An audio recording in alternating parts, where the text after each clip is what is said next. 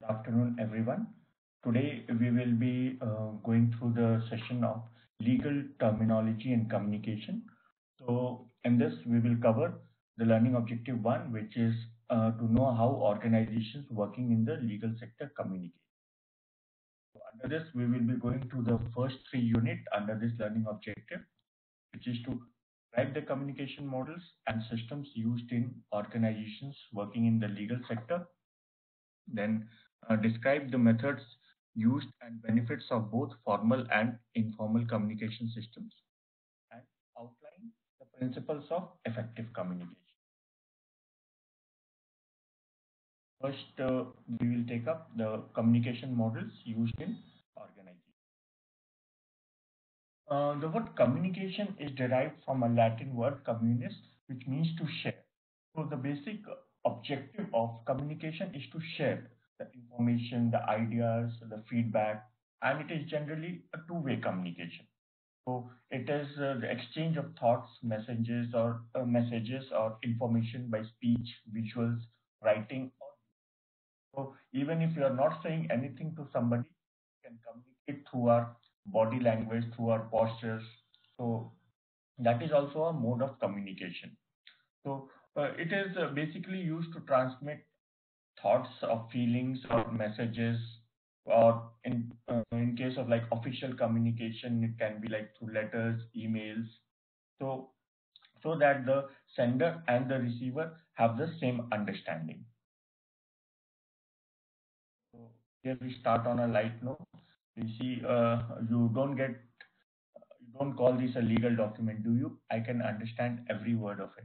So this is on a lighter note as the legal documents are mostly uh, more complex and they have a complex language, so which is not easily understood by a common person.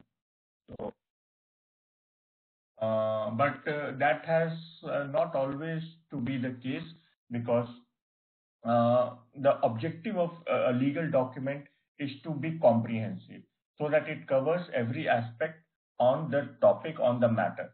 So there is no scope for things which are not in scope or any other uh, like unwanted text or content in the legal document.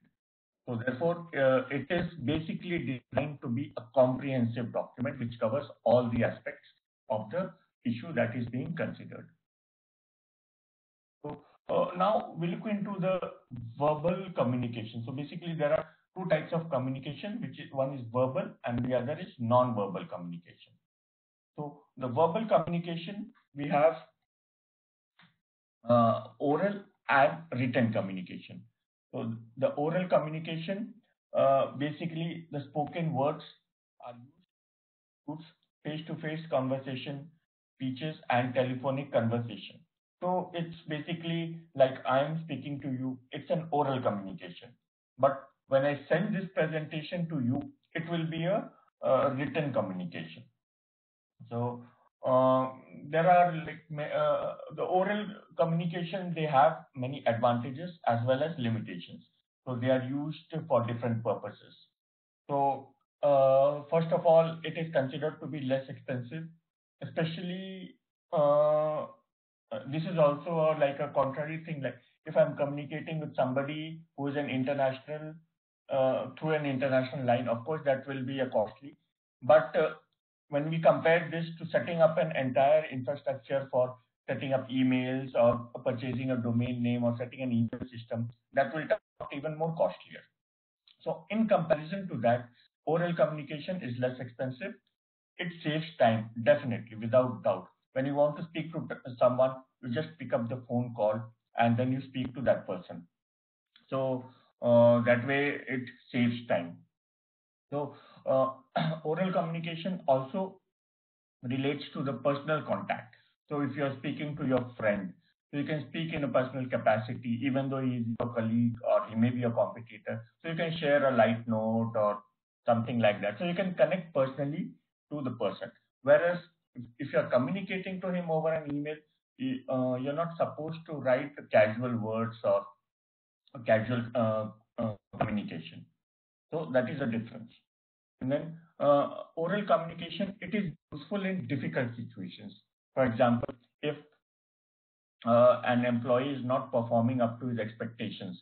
So then his supervisor can communicate with him uh, on his uh, feedback.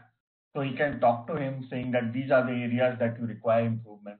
Whereas if the supervisor only writes a harsh email that you are not performing, this is your expectation. So that will send a very negative feedback to the employee. But talking to the employee, it uh, makes them understand. So employees also gets clarified. He can also raise their concerns. So that way it becomes much easier. And uh, in the same context, it is persuasive.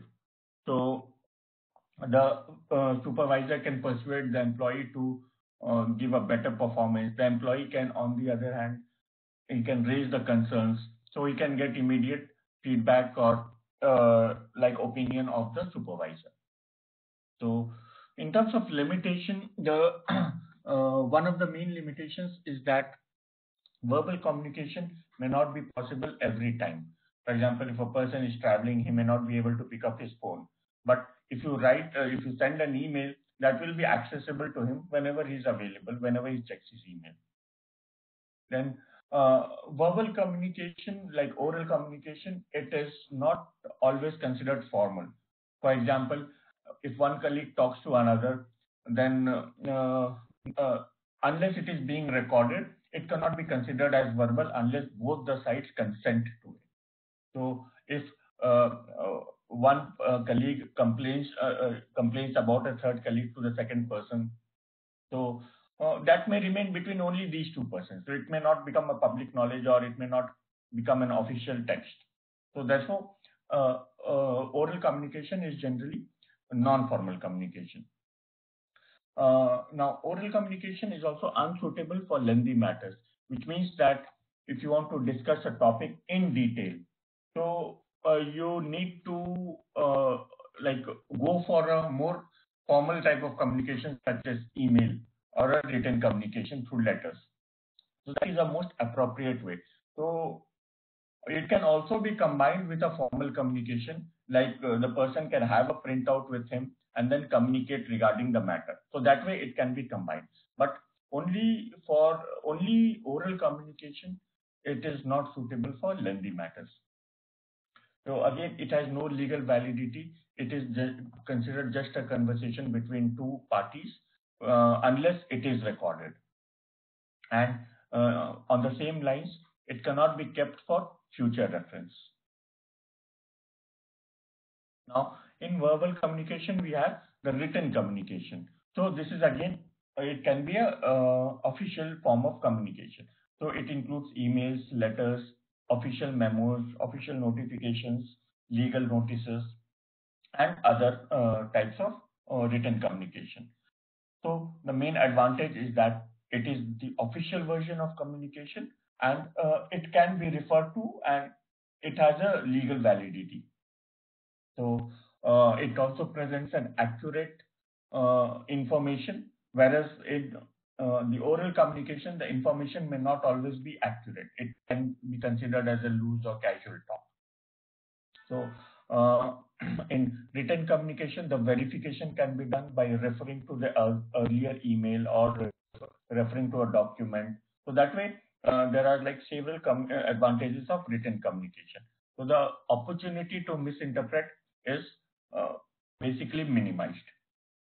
However, uh, in terms of the limitations, uh, it is always time consuming. Like if you want to talk to a person, you can directly call him up and discuss the issues. Whereas if you want to write uh, to him, then you'll have to think about all the issues so that you have covered all your points and then write to him. And then there will be a delay in response.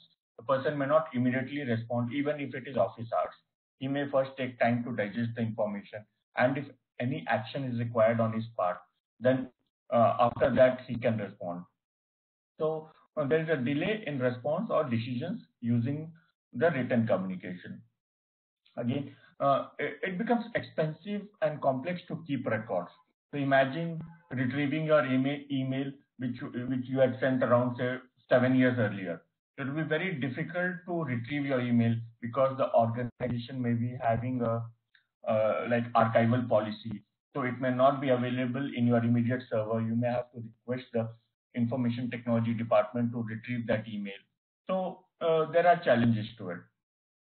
And then the, uh, the written communication are less personal. These are more on professional lines. And finally, there is less secrecy as once the email has been transmitted and other people are uh, copied on that email.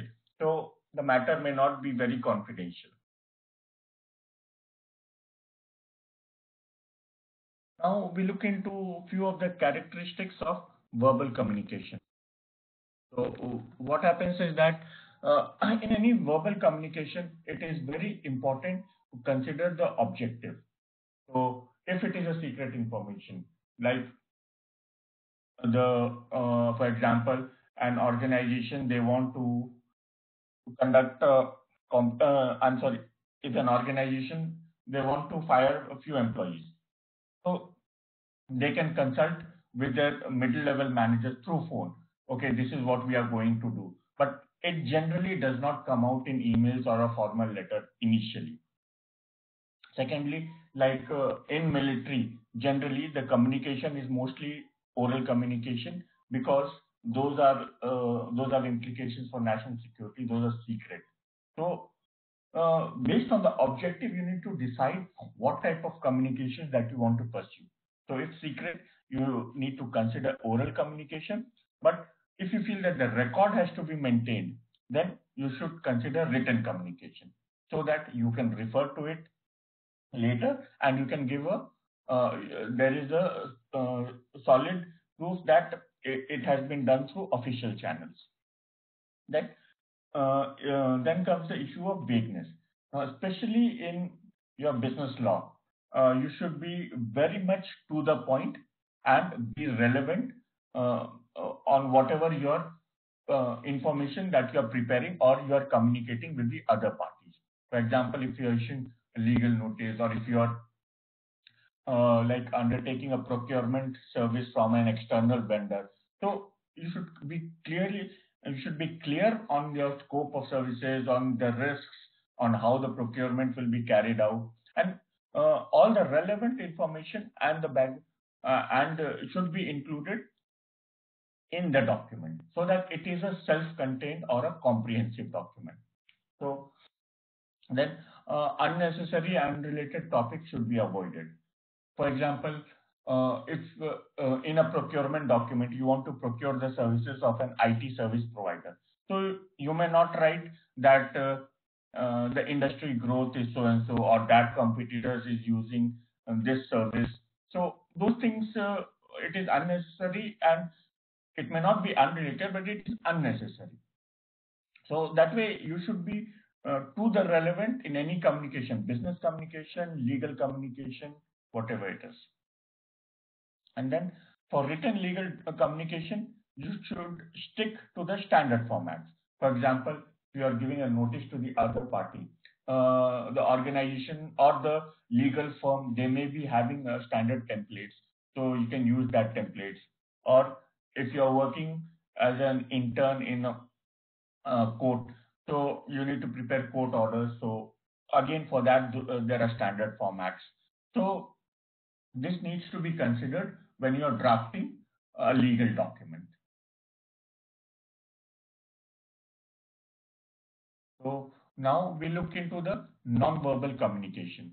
So it uh, includes all unspoken messages, whether it is intentional or unintentional.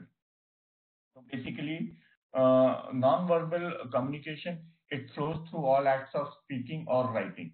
So for example, in an office, uh, one colleague may be writing a small chit and passing on to another just for the fun sake or maybe comment on another and then throwing it in the dustbin. So that is a non-verbal communication.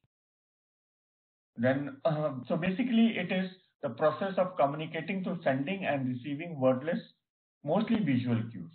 So writing a chit and passing is considered a casual conversation. It is neither a formal communication, uh, it is not a formal communication. It is, it may also not be considered a written communication. So mostly like uh, uh, the non-verbal communication is communicated through mostly visual cues. Here we give some examples. For example, if you see a traffic light, so it is not written that red stop, green go, or orange hold on or watch and go. So it is not written. You understand that red means stop or green means go. So it is a wordless communication. So in the second picture, if you see the person seems uninterested or boring, so because uh, she is showing a yawning approach, it clearly indicates a, an uninterested or boring approach. Then in the third picture, if you see, uh, the lady has a uh, confused look on her face, confused or maybe she is wondering like how it is happening. So that uh, those are the visual cues that sends out non-verbal uh, messages. And finally, uh, in the last one, if you see, it is it reflects like something which needs to be kept secret or confidential. So that is the non-verbal cue. So there are uh, different types of non-verbal communication which an organization needs to understand, which comes from the employees. So a few of them are listed out here. It, it can be a body language, can be an eye contact. So if you are having di direct eye-to-eye -eye contact, so the person, uh, the opposite person will understand that you are paying attention to him, and then you are uh, uh you are getting a good response. Lower your eyes, so it may show some kind of like insubordination, or maybe you're not interested, or you don't want to talk to that person. So it can give that kind of feeling. So similarly, facial expressions. So whenever like a teacher is taking class, the student may feel bored or the student may look here and there, feel uninterested. So those send out non-verbal communication. So now we discuss what is the importance of non-verbal communication. So basically body language is very important. So for example, if you're standing in front of your boss with your hands folded, so that is not a professional way. So uh, to uh, like listen to him, it, it just shows that okay, you are listening to him, but you are not alert or not very attentive to what he's saying, or you're not agreeing with him. So body language is very important in non-verbal communication. Then tone of voice. So if your supervisor is shouting and you are also shouting on that, so that will not lead to a healthy conversation. You should understand that the purpose of any conversation or communication should be a productive discussion or a productive result. So the tone of voice should be moderate. But when you are making uh, a pitch uh, for your for your new company to the investors, you can have a passionate tone. So that way you can alter your tone depending on the circumstances. So the tone of voice is again an important non-verbal communication technique.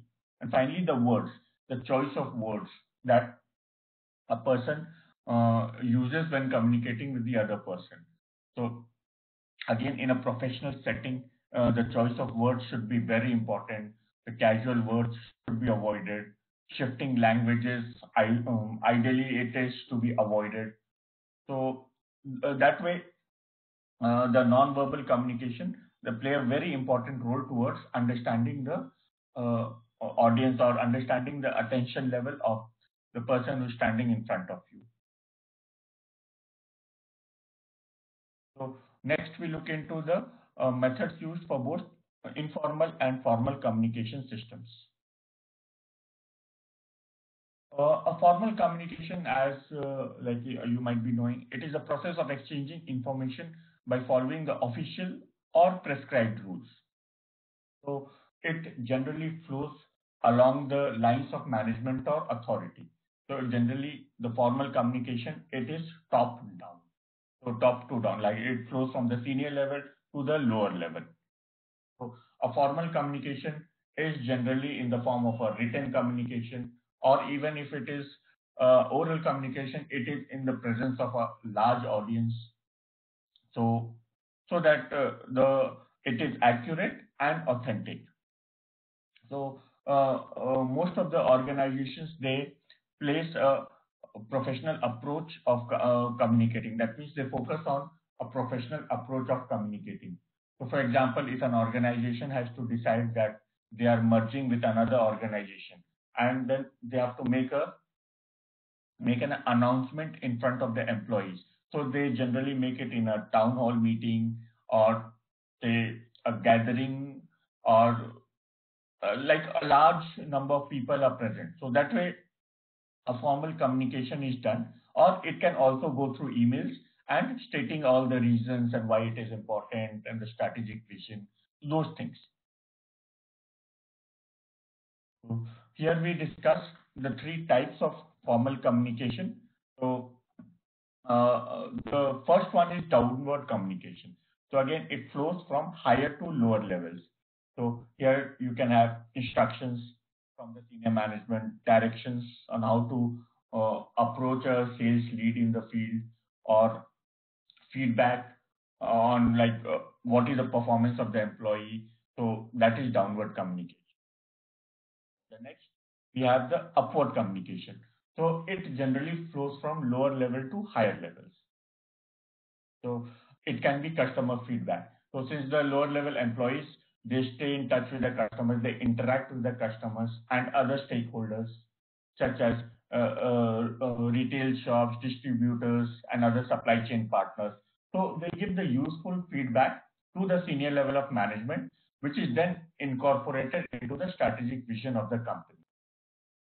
So uh, this is also applicable to ideas for improvement.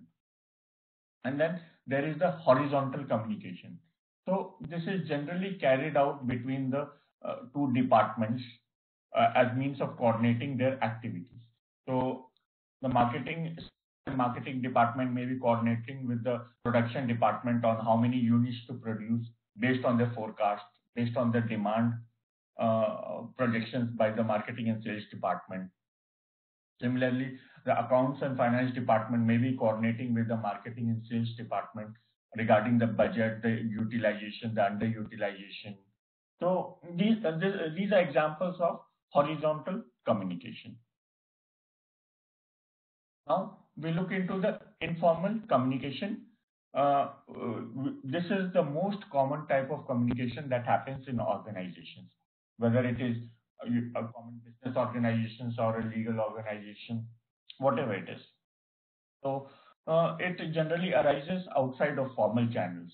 So one colleague talking to another, maybe regarding say sports, they like a, a football club, say Manchester United much better. The other uh, person likes Chelsea, but uh, uh, supports Chelsea. So they can be having the discussion between their matches and uh, where they are in the English Premier League. So it can be it can be related to like any topic. It can be related to movies. It can be related to the weather. So all these are like informal communication. So it is generally oral and it can be expressed even by a simple glance, sign or silence. So suppose uh, if uh, an employee is uh, not to, talking to another employee, so when the other employee asks him any questions, he can simply be silent. So he's communicating, he's not saying anything, but he's still communicating, which is an informal communication. So this grapevine communication is the way in which the informal communications take place in an organization. So it is basically the information informal communication network. So uh, the grapevine is formed by the association of the employees and by uh, by their contribution in the groups. So uh, the individuals when they interact each other during say coffee break or lunch break, and then uh, those individuals they pass on that information to other uh, to the other employees so that way it runs through the organization through informal channels. So that way the, the, this is how the information spreads in an organization. So mostly you can have say gossips or rumors or something like that, uh, which is generally done in a, a grapevine communication structure. So here uh, we present an example of how communication flows in organizations. If we see the blue arrows, those are examples of downward communication, which is from the higher level to the lower level. So the president communicates with vice president of marketing, the director of sales communicates with the retail sales manager. The director of advertising and promotion communicates with the advertising manager. So these are examples of downward communication. Now, examples of upward communication are uh, the line B supervisor to the plant manager, or uh, you can have uh, vice president of production to vice president of marketing. And then finally, the horizontal communication it is uh, between similar levels, which you can see VP of finance to VP of marketing, so director of advertising to the plant manager. So uh, line A supervisor to line C supervisor. So this is just a broad example on how different uh, types of communication they uh, flow in an organization. So here uh, I have uh, listed out a few of the comparison between the formal and informal communication techniques in an organization.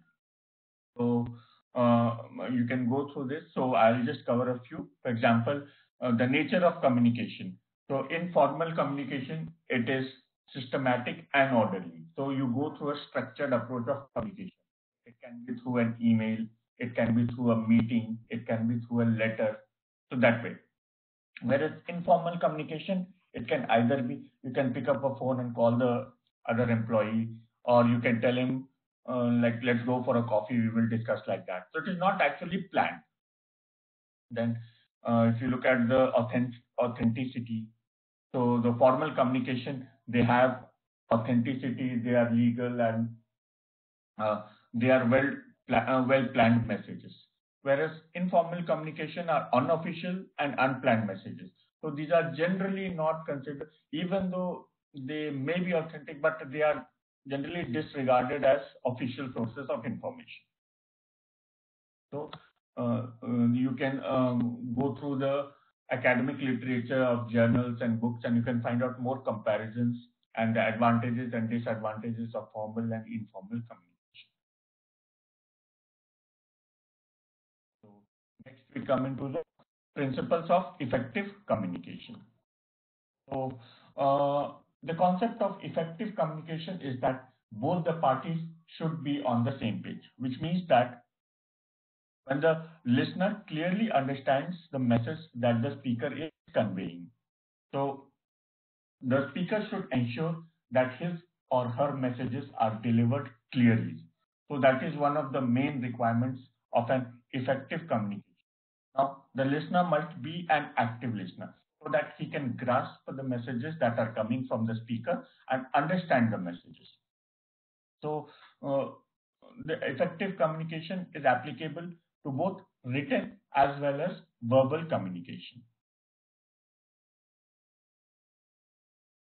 So here I list out uh, some of the key principles of effective communication. So you can also go through these, you can browse the internet and then find out each of them, the examples of each of them. And uh, you can also go through journals to understand more about the principles of effective communication. So here I will cover these four aspects, which is principle of objective. So which means that uh, the uh, communication should be to create awareness like what is the objective of communication and to make an announcement and information or share information in the organization. So that is the principle of objective. So there should be an objective to any communication. Then there's a principle of understanding the receiver. So a speaker must always try to understand the audience, what are the expectations. So for example, if you are making a presentation in front of your clients, so you will basically cover the products or services that are being offered by your company so that the client can understand the features, the benefits as compared to the other uh, products in the market, the pricing differential, and what is the value addition that your product is providing to them. So you should understand the audience. So that is one of the key principles of effective communication. Then there should be a principle of clarity. So it means that there should be no ambiguity in the message. So you cannot state that okay, uh, these uh, the market research report state these, but uh, another resource, uh, another source states these. So it can be a conflict view and you can uh, the audience can be left like confused after the session. So basically, your message should be very clear on what you want to convey to the audience. And then there's a principle of feedback, which means that uh, if you get an opportunity for suggestions, you should definitely uh, take up that opportunity. For example, uh, uh if you conduct an event and after uh, on the last day of the event, uh, you need to understand like how was the event, whether it was well organized, whether it was successful. So you you can collect the feedback from the attendees and from the other participants of the event. So that is the that is the way you communicate with them. There are several benefits of effective communication. So I'm sure you must also be aware of them. So it's like uh, quick in problem solving, more productivity, and strong business relationship. So if you are very effective in your communication with your supplier, so uh, there is no scope for ambiguity, and then you can develop a strong business relationship. And then you can project yourself as the one who is like makes a strong and relevant case, uh, does not beat around the bush or does not give ambiguous information.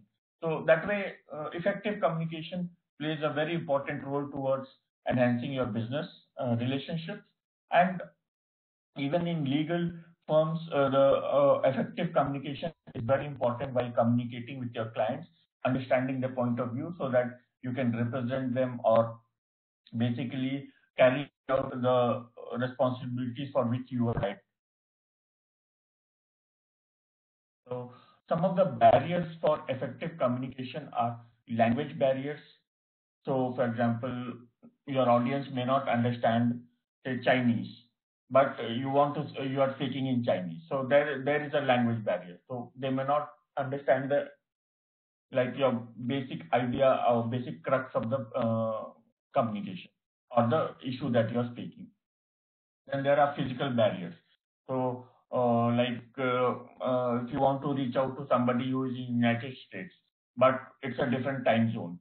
So it, it is difficult for you to wake him up at 2 o'clock at night to, to say that you want to have a meeting. So that is one of the physical barriers.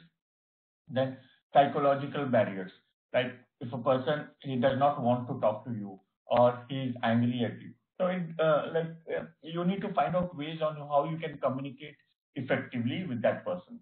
Whether you need to choose the oral way of communication, whether you need to choose a written mode of communication. So that way you need to decide. And then there are cultural barriers.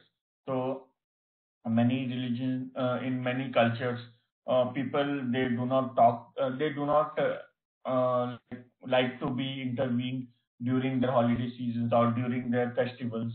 So that way you need to understand that every person, if you're working globally, that every person is bound to some culture. So you should try to understand the culture and then uh, acknowledge them and respect them. So here uh, some of the barriers to effective communication are listed out, like lack of interest or distractions or the time, like I said, I give the United States example, or the distance or discomfort with the topic. So that is also an issue with the effective communication.